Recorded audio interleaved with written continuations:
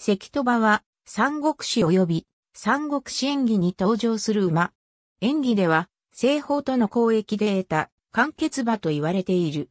赤い毛色を持ち、うさぎのように素早い馬の糸も。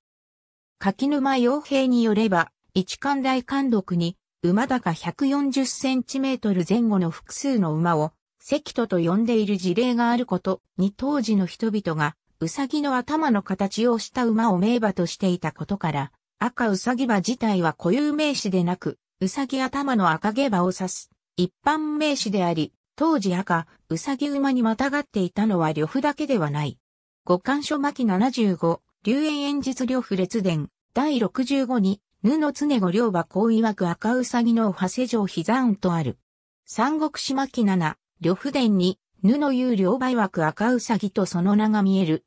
これによると、呂布が炎章のもとにいた頃、彼に頼まれて、長炎を攻撃した。呂布はいつも、関戸という両馬に乗って敵陣に突進し、ついに、長炎を打ち破ったという。また、中に引かれた、総万伝によると、呂布の豪遊と合わせて、人中呂布馬中赤うさぎとあり、人中に呂布あり、馬中に関戸ありと称されたという。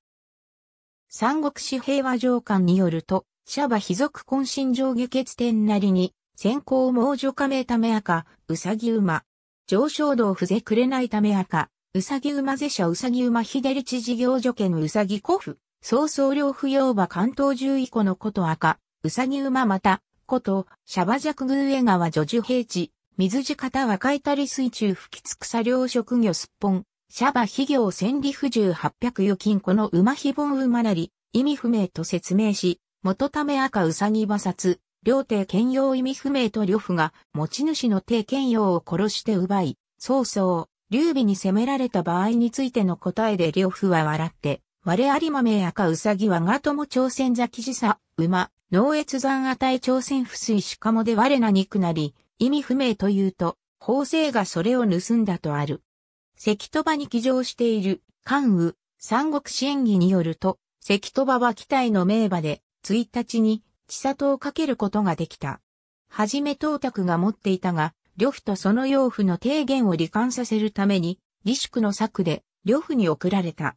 呂布はその見返りに、提言を殺し、東卓に仕えたが、関戸場は後に、呂布を撃った、曹操の手に移る。しかし関戸場は、気性が荒く、誰にも乗りこなせずにいた。当時曹操は関羽を自分の部下にしたいがために軟禁状態に置き、気を引くために様々な贈り物を与えていた。しかし一向に効果がなかったため、貴殿なら乗りこなせるだろうと関戸場を与えたところ彼は見事にそれを乗りこなした。さらに、それまで何を送っても喜ばなかった関羽が大喜びしたので、曹操はその理由を尋ねた。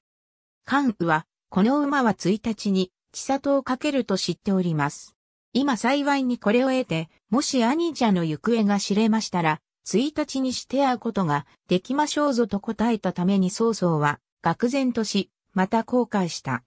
その後、関羽が処刑された後は、呉の馬中に与えられたが、マグサを食わなくなって死んだという。